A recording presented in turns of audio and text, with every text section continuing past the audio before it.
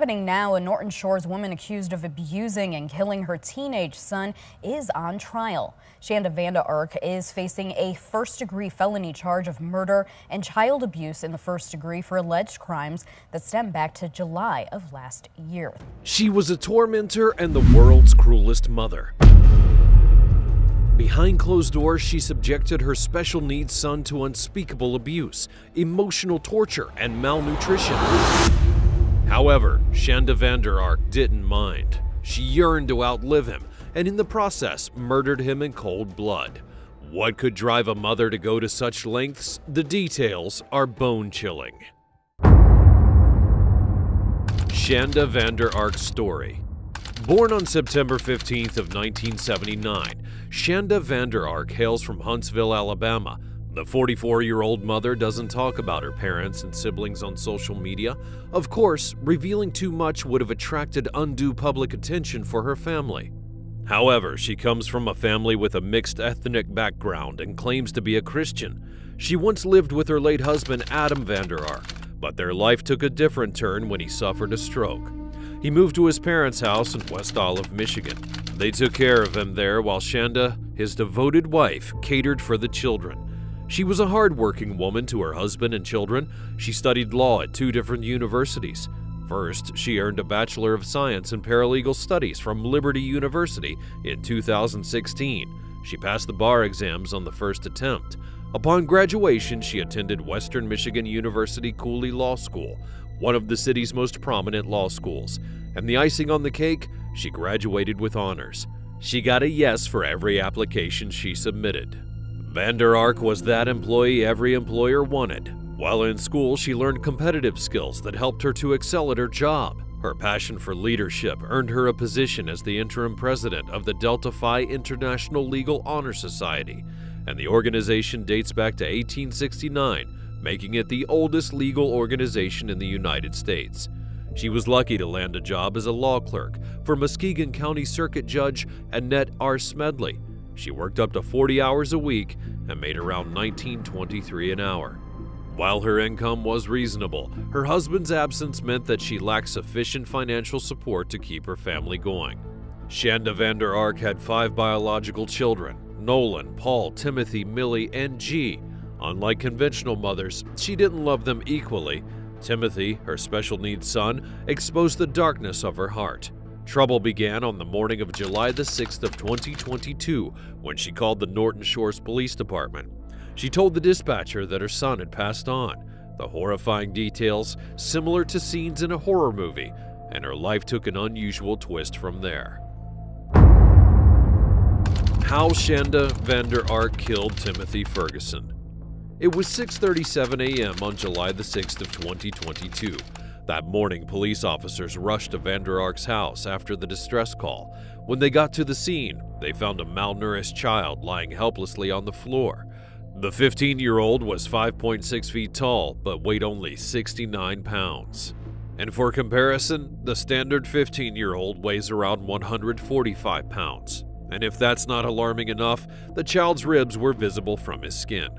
Timothy was autistic and had speech and motor impairment and as a result, he was homeschooled and deliberately kept away from the public.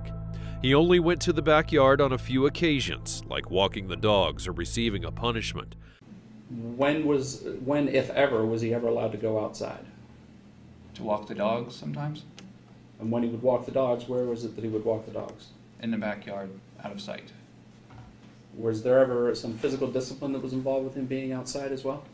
Yes. What was that discipline? He was made to run up and down the patio stairs.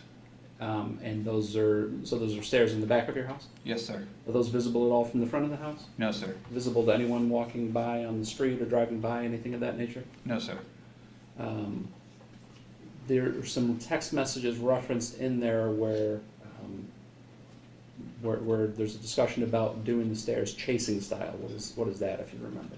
Um, following close behind him to ensure he moves faster. And, and who would be the one that would chase him if that was taking place? I had to. His health would deteriorate because his mother would not take him for regular checkups or give him his medication. Vander Ark had simply given up on him. Paramedics would pronounce him dead at the scene, and he had been long gone before they had arrived. But then they had their suspicions. They took his body to a medical examiner to ascertain the cause of his death before anything else, and days later, the autopsy result was out. The findings would haunt Shanda Vander Ark for the rest of her life. The coroner confirmed that Timothy Ferguson had died from hypothermia and malnourishment. And his death was ruled a homicide. Vander Ark and her 17 year old son were arrested for their alleged roles in Tim's demise, and as of then, they lived with G, whose real name was hidden due to his minor status. After their arrest, the details of what transpired indoors were then disclosed to the public. Oklahoma Child Protective Services dug up old records about Vander Ark, uncovering an investigation between 2009 and 2012. Apparently, this monster of a mother was involved in a divorce and custody battle with her ex husband Eric. In fact, she willingly waived her parental rights to the children and signed them over to him. She could only visit her children and spend three hours a month with them. Vander Ark would be ordered to pay child support for her four kids, and regrettably, Eric had difficulty caring for Timothy, so he asked her to take him. He sent, and, and how, how did it happen that you ended up with custody then? My ex reached out to me, um, stating that Timothy was, he could no longer handle him, that he was pushing his buttons, and that he needed to send him to live with me. Okay. And you agreed to that? Yes, sir. Okay. Had you ever lived with Timothy uh, for during his, his? When he was younger, yes, sir. Okay. All right. So uh, you you agreed to accept him into your home, Yes, sir. And who was living in your home at the time? Myself, my husband Adam, Paul Ferguson, and then my little man, G. G. Okay, that's what we've been calling G, correct? It's really hard to do, yes, sir. Okay. Do the just do the best you can. Uh, okay. So they- they're all living in your home, and then Timothy joins you, correct? Yes, sir. when Timothy's joining you, did your ex-husband ever make any ex, any effort to transfer legal custody to you? Um, we discussed it, but he never did actually sign anything, no, sir. Okay. And without legal custody, how do you get Timothy into school? You can't. And without legal custody, how do you get medical treatment for Timothy? You can't. From then on, he lived with her in the most appalling conditions ever. Vander Ark lived in at least 18 places before moving to Norton Shores in 2021. It was in this city that she sat and aced her bar exams. Adam was far away in his parents' house, having no idea how she managed the home. And by then, he was battling leukemia and physically impaired. Timothy's abuse began days after he moved out of the home. Vander Ark was not alone in this, though. She recruited Paul Ferguson to help her. Timothy would be forced to sleep on a tarp in a closet under the stairs, the closet locked with an alarm at night, denying him access to the bathroom. Police confirmed that the room had an overwhelming odor of feces and urine. This cruel mother set up five surveillance cameras in the home while she was away, using it to monitor Timothy's every movement and ensuring that Paul followed her instructions. She sent Paul messages instructing him on specific things to do, and once asked him to keep his brother awake by ensuring he was uncomfortable. She ordered him to throw cold water on him if he dared fall asleep, and he was instructed to leave the light on at night to prevent him from sleeping. Paul executed other punishments like cold showers, prolonged amounts of standing, excessive exercise, and forced vomiting. Timothy was regularly restrained with zip ties and shackles. And Vander Ark left specific instructions on what to feed Timothy. It was customary for him to be deprived of food, but things worsened between January and July of 2022.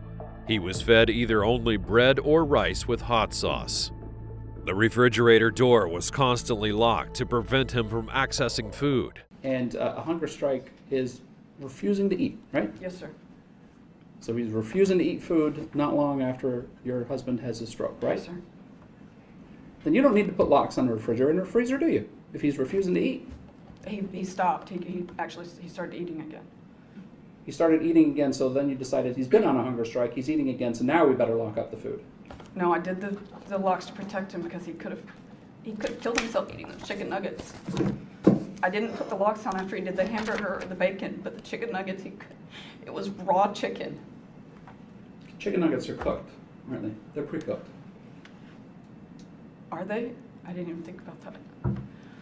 But it's okay if he has a frozen pizza roll or two if he sits up, right? Yes, sir. Mm-hmm. Timothy was force fed hot sauce, causing him a severely painful burn. It was part of the punishment for stealing food he wasn't allowed to have.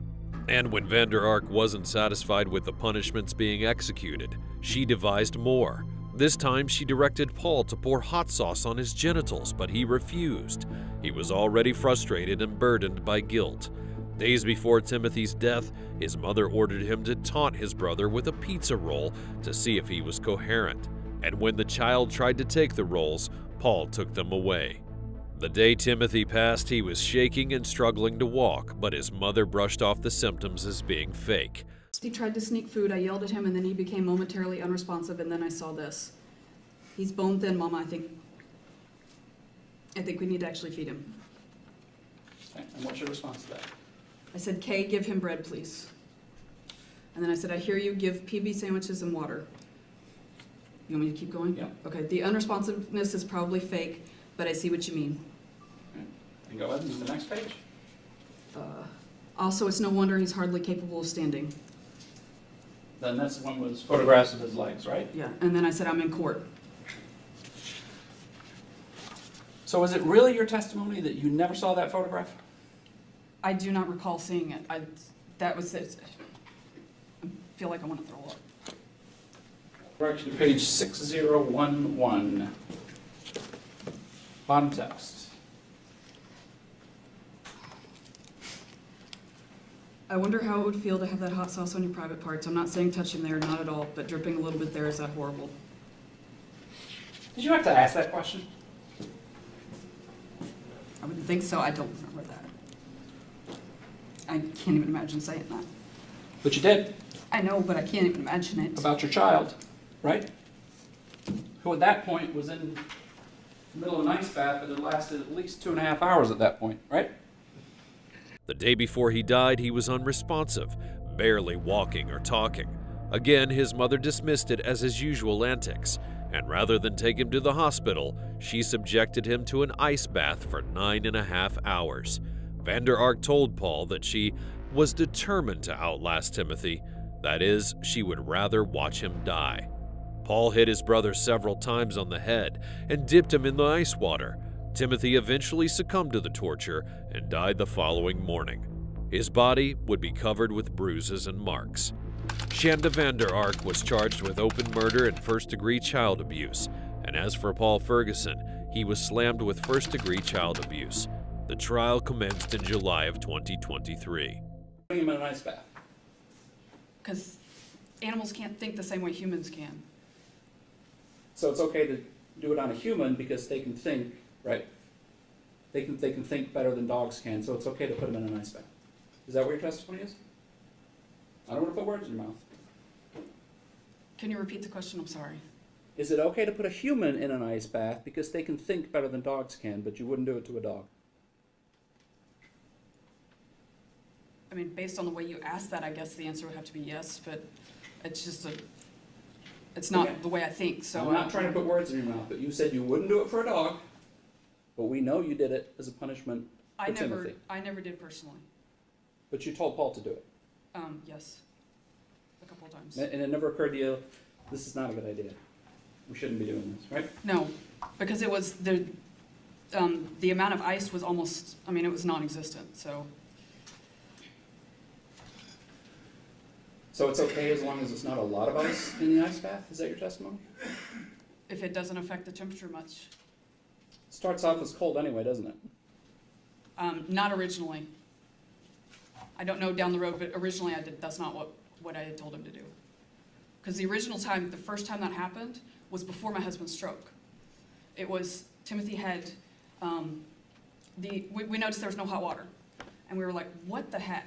And I went down and I'm looking and I noticed the pilot light's not on on the water, it's a gas water heater. I'm like, what on earth is going on? This here?" ends with Timothy turning off the gas, doesn't it? Uh, This- yes, this- sir. This part of the okay. And he lied about it for Let- let- two days, but Let, let me just make sure I understand then. Is, is, is it your testimony that you put ice in an otherwise hot bath to cool it down? yes. Why don't you just start with warm water to begin with? I honestly don't know. That, but that's what, that, what happened the first time. So if you repeatedly refer in these text messages to them as cold and or ice baths, but that's what it was at the end, wasn't it? Cold baths or ice baths, At right? the end, yes, sir, but not the first time. Not the first time, you, you- you apparently needed ice to cool down a hot.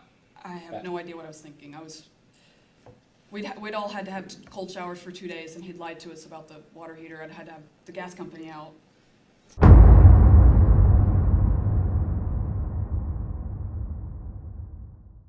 Shanda Vander Ark's murder trial. Paul Ferguson appeared in a Muskegon County courtroom for a settlement conference, and there he agreed to a guilty plea of a single count of first degree child abuse.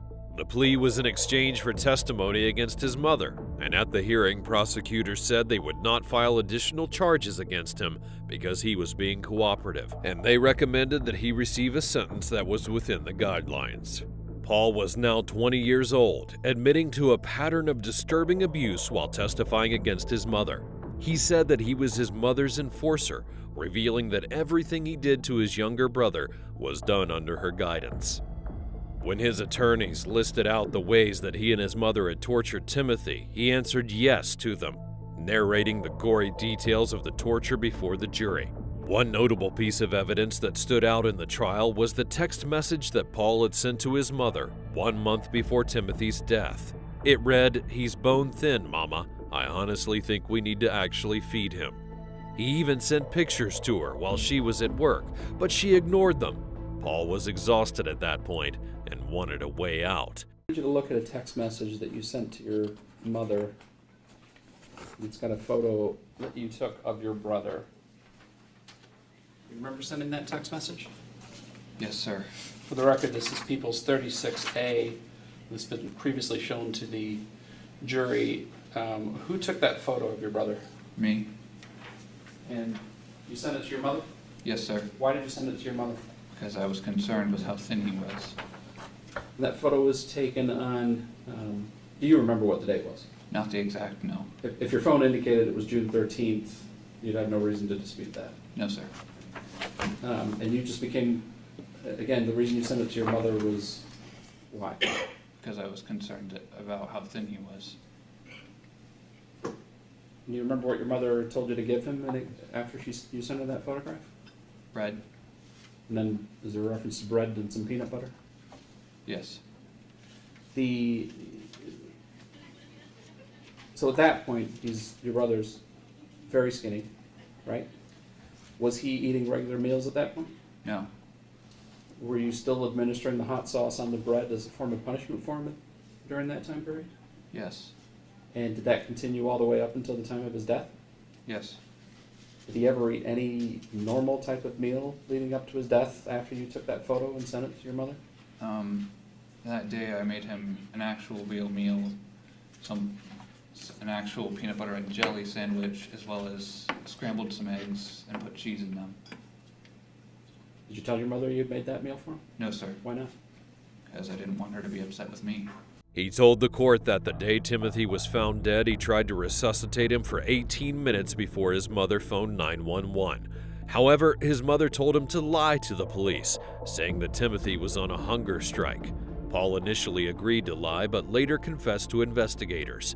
When asked about his relationship with his mother, he likened it to Stockholm Syndrome. He said he battled low self esteem and desired to find a role model so badly. Therefore, he did anything and everything he could to make her proud of him. He only realized his mistakes when it was too late and wished he could go back to correct them. Is there, as you sit there right now, do you love, do you, do you love Timothy? I suppose I didn't love him enough. No, that's It's why. I'm trying to bring, bring justice for him. Just a moment, just a moment, I don't know. But can I say that I loved him during the time before him? his death? Yes. Did you love him before his death? With all the ways I acted, I cannot. Okay. Let me ask you this. When did you start feeling this way? While he was alive or after you found out the way he was being treated killed him? After, So while the time he was alive, Did you think you were killing him? No. Shanda Vander Ark took the stand on December 17th of 2023 to share her side of the story. A few minutes after she settled in, prosecutor Roberts handed her pictures of Timothy's emaciated body, asking, "Did he look like that when you put him in the bathtub?" She immediately put her hand over her mouth and hunched over before vomiting. She then apologized to the court before bursting into tears. Vander Ark showed signs of a mental breakdown. Her attorney, Fred Johnson, stood beside her, comforting her and requesting trial judge Matthew Kacel to end the day's proceeding. Shanda didn't appear in court the following day after deciding she didn't want to participate in the trial. She authorized her defense attorney to stand in for her, and Fred told the judge that his client was suffering medical distress and was better off indoors. Initially, the court planned that she would appear physically to answer some questions, but since she didn't show up, the questions were not asked. Meanwhile, the trial continued in her absence. Earlier, she testified before the court, detailing the incidents that occurred before Timothy's death.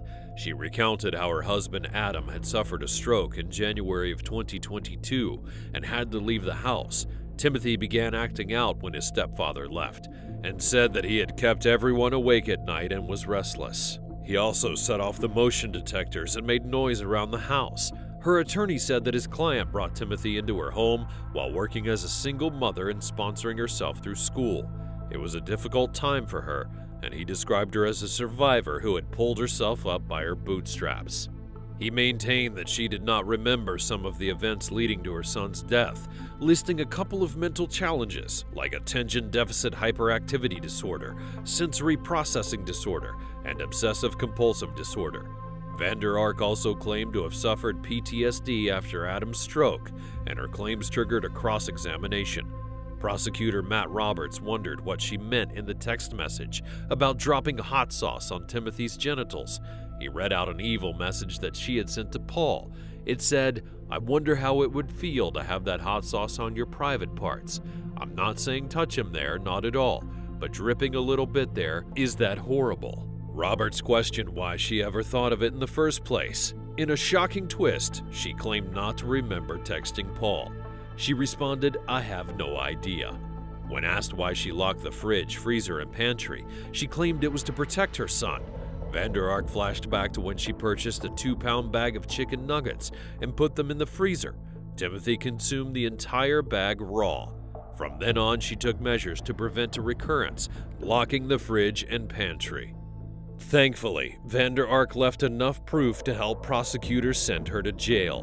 One such was that she installed alarms, cameras, and motion sensors around the house. She had one of them in Timothy's room, and it wasn't a room but a tiny closet under the basement stairs. The judge ruled against showing the footage of his final moments to the jury. However, he allowed Lieutenant Joel Hoxema to describe it in court. In the footage, Vander Ark dragged Timothy, who was wearing an adult diaper, into the closet. His eyes were open, but he appeared unresponsive. He was thin, and his bones were protruding. Hoxema told the court that he could see the child's hip bones because he wasn't wearing any pants. His mother scolded him, saying that he was pathetic, and dragged him along. She also said that he owed her the biggest apology in the world. She abandoned Timothy on the floor and returned 15 minutes later, and at that point he was breathing through his mouth. She then yelled at him to stop breathing like that and forcefully held his mouth shut for a few moments. Hoxema noted a moment in the video when he believed Timothy had died, and at that point, the child's chest had stopped moving. Authorities confirmed that after finding Timothy unresponsive, it took Vander Ark and Paul another 18 minutes to call 911. Shanda Vander Ark sentencing. The jury in Shanda Vander Ark's murder trial resumed deliberations on Friday, December 15th of 2023, returning to the courtroom just before 4:40 p.m. with their verdict. Shanda Vander Ark would be convicted of open murder and first-degree child abuse in the death of her 15-year-old son. She was then sentenced to life in prison without a chance of parole plus another 50 to 100 years for first-degree child abuse. Judge Matthew Kacel announced this after closing statements from both sides and rebuttal from the prosecutor's office. While explaining the sentencing, he said, I've been trying now for this entire case to wrap my mind around how somebody could do something so horrific, not only to another human being, but to their own child. You intentionally and systematically tortured this child. Let's call it what it is it's torture. You tortured this child. foremost, uh, for the individuals here to speak on uh, Timothy's behalf, I appreciate you being here. Uh, it kind of struck me throughout the trial,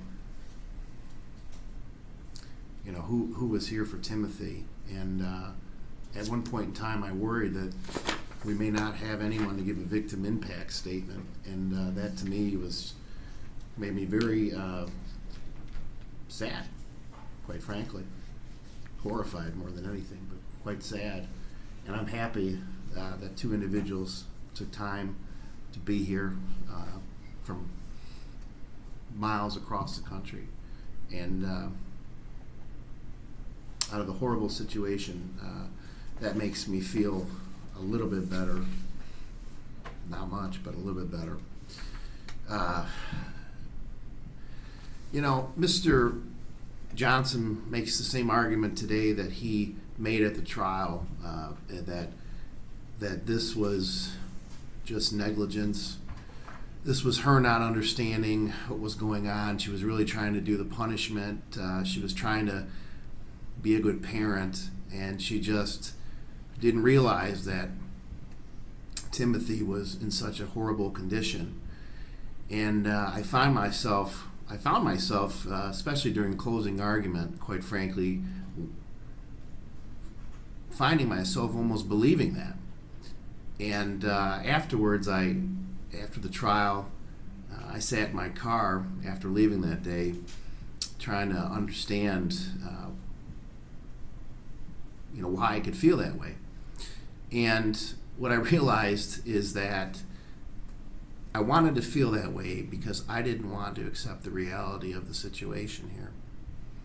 And the reality of the situation here is that this person, Ms. Vander Ark, you intentionally engaged in these acts. This wasn't negligence. This is not understanding uh, why, but you intentionally did this with a goal and uh, I think Mr. Johnson's correct. I don't believe there was an intent to kill here because you would have lost the very thing that you wanted to torture. Without him, you have no one to torture except maybe the younger children. So I don't believe you intended to kill him. I, I think you intended to continue on torturing him uh, for as long as you possibly could. The why, I don't know. But all the information that I have in front of me, and I sat down, I really thought about this, and I looked over my notes from the trial, demonstrate that this wasn't negligence. This wasn't you not understanding what was going on. You look through, I, I read through every single text message of the exhibit, 2,000 plus pages, to try to understand what the heck was going through your mind. And what became entirely clear to me is that you knew exactly what you were doing immediately afterwards, when police arrive at the home, you you immediately you know concoct this lie about he's been on a hunger strike. He's you know he was in the bed and I checked on him and I gave him some food and all this stuff. You got Paul involved in it. Uh, you know, at one point in time, uh, you know you're you're put you know put baggy clothes on him. Um, you know, put clothes on him to make sure you know to make sure, I guess, that he, he looks like he was actually wearing them, that he was hiding his his uh, his poor condition, even though you already received text messages, you know, weeks earlier of how bad he looked. Uh, you know, you, you testified yourself how highly intelligent you were. In fact, that's the only thing that uh, you testified to that I think was actually true. You were quite proud of that, boastingly, boasting how intelligent you were. Uh, and not only that, but your actions in hiding this child. You, you, you hid him from uh, his grandparents. Uh, you made sure that uh, your other son, G, or, or little man, as you call him, didn't see him. You know, those text messages talk about not wanting uh, anyone to see him. I want to see him in that condition.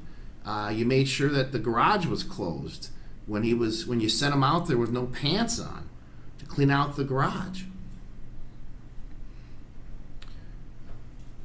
I don't want to believe it because I don't understand. I can't wrap my mind. I've been trying now for this entire case to wrap my mind around about how somebody could do something so horrific, not only to another human being, but to their own child.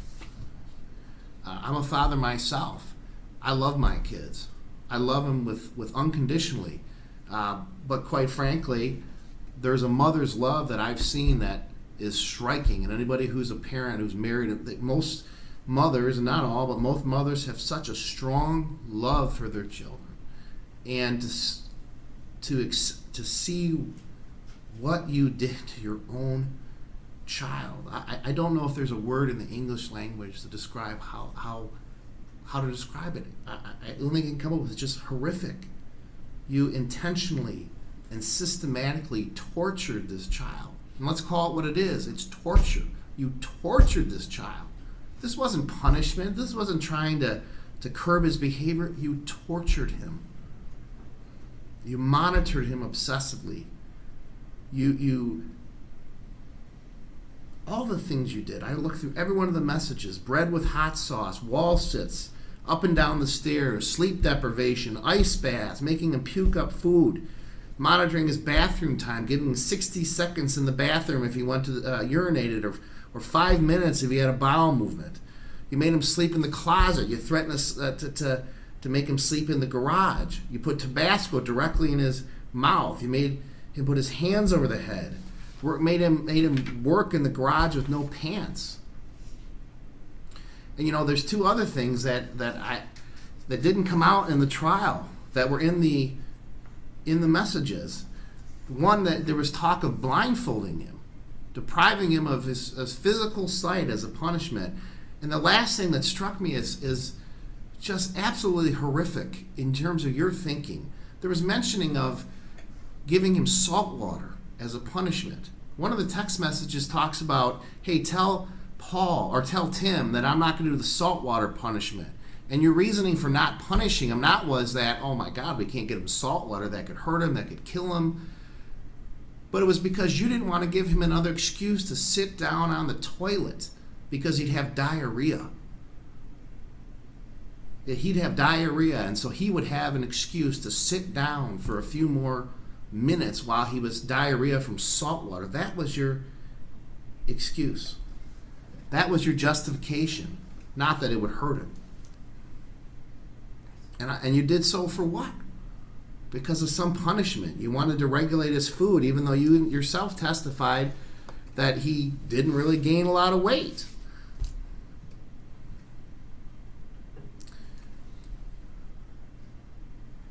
Uh, you know, toward the end of these text messages, you and Paul are talking about not wanting him to win. He's not going to win. I didn't allow pictures to be shown in open court of Timothy as he was uh, when he died because I didn't want people to remember him like that. Of all the things you took away from him, one thing I didn't want you to, take away from him was at least some shred of dignity. Uh, and then I also thought, well, I'm a judge, I'm a human being. I don't know how to I don't know how to right this wrong. We try to do that. I try to do that from the bench every day. There's no way to right this wrong except impose a sentence uh, that that that essentially takes away your freedom. And I thought to myself, what do I do?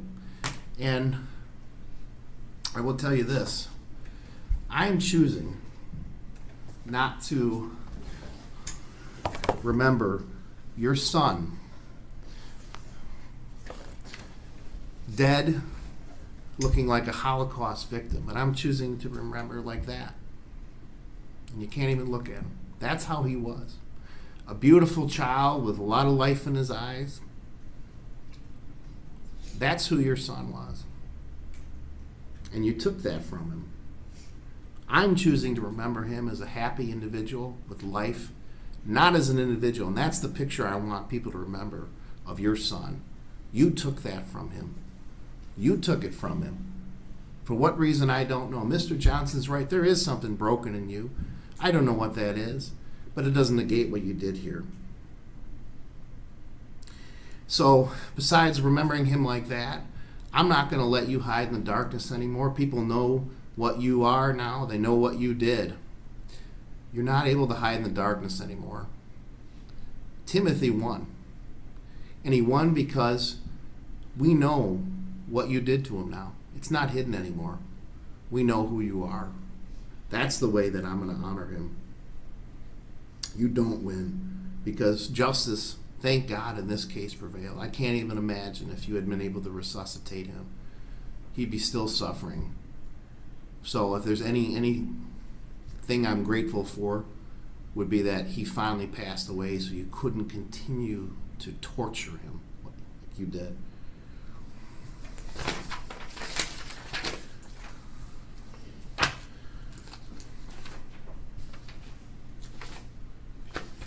It's a sentence of the court.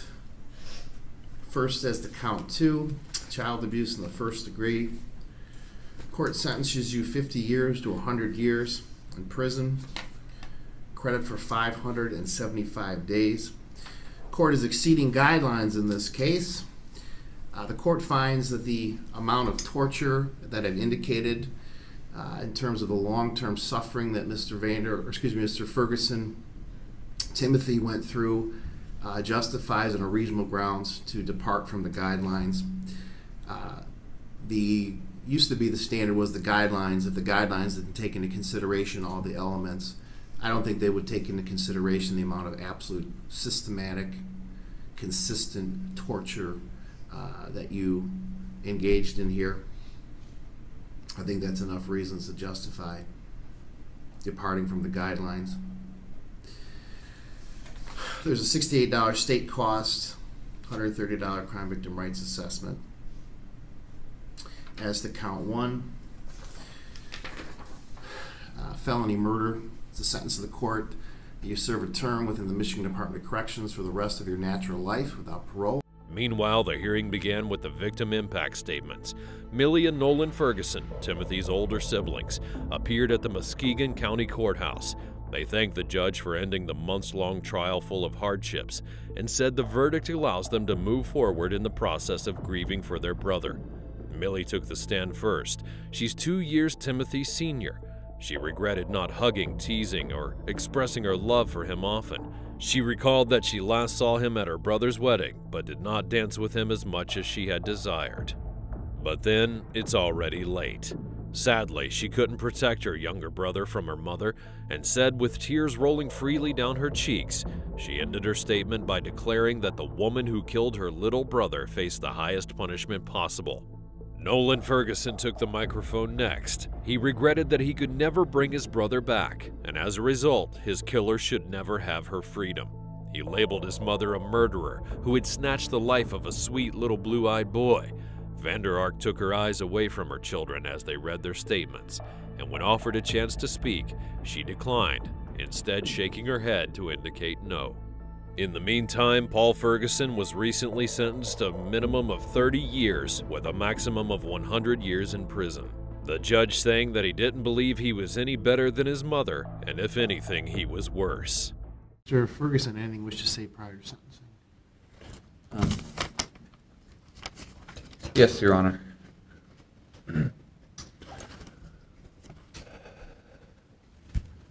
what reasons could justify my actions? I could make up a thousand and never believe one. What words could voice my regrets? I can think of millions, yet never feel it's enough. If I could do it all again and do it right, I would. I feel I will pay for my choices and yet never feel better because he's still gone. I have had time to think during my time in Muskegon County Jail, and I've realized many things about myself that I might never have, other, have considered otherwise. My problems and flaws, to put it simply, are the place to begin correction of self. I ask the judge for nothing more than mercy and fairness, to offer me compassion so I might learn from him. I only hope to better myself in the coming days and serve my time with what little honor I have left, and to make right my faults in search of a better tomorrow. Be sure to share your thoughts on this story. Should Paul have gotten a lesser sentence or a worse one than his mother in the murder trial? Drop your thoughts in the comments box below. Be sure you're subscribed, and I'll see you next time.